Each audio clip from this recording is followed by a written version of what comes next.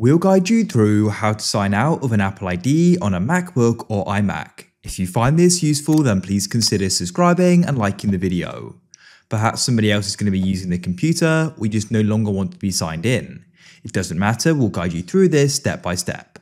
So what we need to do is we need to go and open up our system settings, like so.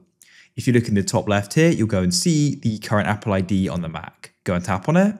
Now, when you go and sign it out, it means it's going to be removed from things like uh, Find My Mac and other things like that. So consider that.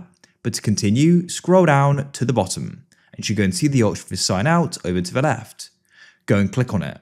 We'll go and get this pop up. Choose you want to go and keep a copy of this on your Mac. I don't, and I'll press continue. Enter in your Apple ID password to confirm you're turning off Find My Mac. It will go and say signing out, and I need to go and enter in my password. You know you've been successful, as it will then go and say about signing in. If you found this useful and want to see more, then please consider subscribing and liking the video.